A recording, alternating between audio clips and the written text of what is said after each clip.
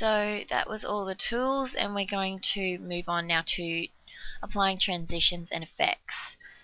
So if I want to say add a transition between jet ski and horses so that wasn't so um, blunt or sudden a cut I would go down here into my effects tab and I would drop down video transitions and I'm going to go into dissolve because they're the nicest transitions to use.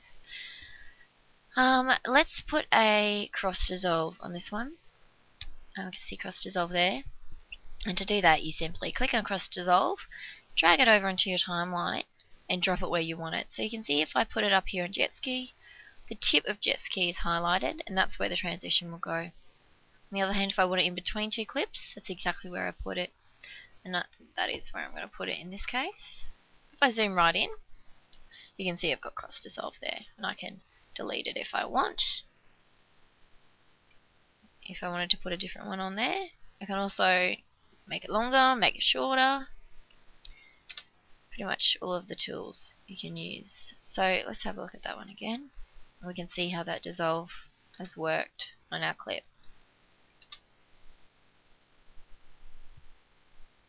There you go. And that looks a little bit jittery because Horses is actually slowed down so much that the frame rate can't keep up. Alright. Another nice one is dip to black. I could just drop that one there instead. So we could put them on the start and end of our movie as well if we wanted. And get a nice fade in for our movie. Okay, so that's how you apply transitions. Here's our effects down here, and there's heaps and heaps of them. There's just so many. Um, I'll show you this one really briefly. I'm not going to go through all of them. Here's color correction. If I drop that down, we'll get heaps more options within those.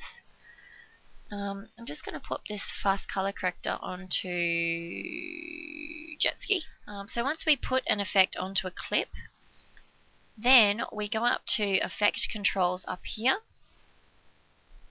and then we can alter the settings for that effect. So you can see by default I have motion, opacity and time remapping. They're always there.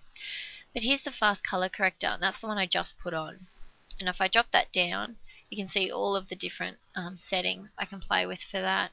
All of these um, effects down here, they're going to all look different with the settings. So your best bet is to just simply apply them. Go up here and have a play, see what they do. And if you don't like it, you can simply delete it by just clicking on its name and hitting delete. So you can see by pulling this color wheel around, I can change the hue um, of the colors in my footage. Um, and now it is important to remember that to see these effects changing when you're playing with them up in here, you have to have your clip clicked that is selected and you have to have your CTI over it so you can actually see it up here. Because of course if you can't see it up here, up in this area, you're not going to know what's changing. So they have to be selected with the CTI over it.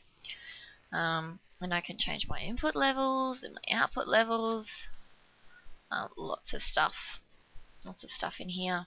So that's how you apply effects and how you change them. We'll also briefly talk about motion because that's quite important. You noticed um, your default ones up here in the video effect are motion, opacity and time remapping. If I go down um, into motion we can see I can change its position and scale like click on that and move it and we can see my program monitor my um, my movie sliding back and forth scale obviously making things bigger or smaller. Um, and rotation if you want it. You can also um, simply click on your program monitor and do it manually. Okay. Now if you want to put a title on your clip we just need to go up to title up here. Um, hit new title and default still is the pretty much the only one you want to use roll you might use for credits at some point but we're not going to go through that so I'm going to click default still you would call it a name. So perhaps I call this Summer Fun because we're jet skiing and horse riding at the beach, apparently. And here we've got our um, title maker come, that comes up. So with our title maker, I can use all of these tools on the left to create my title. So I can make a box, and I can put text in it.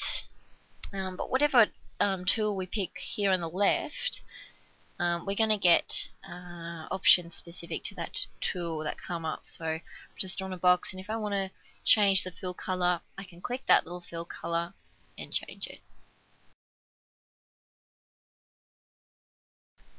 Maybe I want to put some text in it. I'm going to just draw a text box over here and call this Summer Fun. You can't see that. That looks like it's red as well. Yep, now I've got fill. Now let's change that to a different color. Okay, so you use all of these crazy tools to make your title. Um, and then once you're finished with your title, or you simply want to see how it's looking on your video, you just close the box. And now in my um, file bin, I can see I've got a title here called Summer Fun. That's the one I've just made.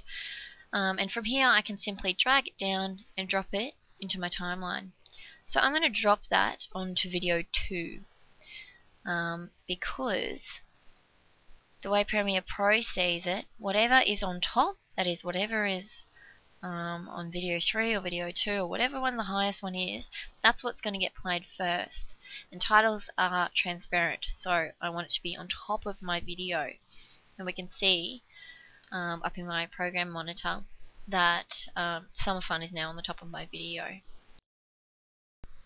We can also put a transition on that if I wanted it to look the same as my jet ski clip. So now when I play my video, they've both got a cross dissolve on them, so they should both fade in at the same rate, which looks a bit better.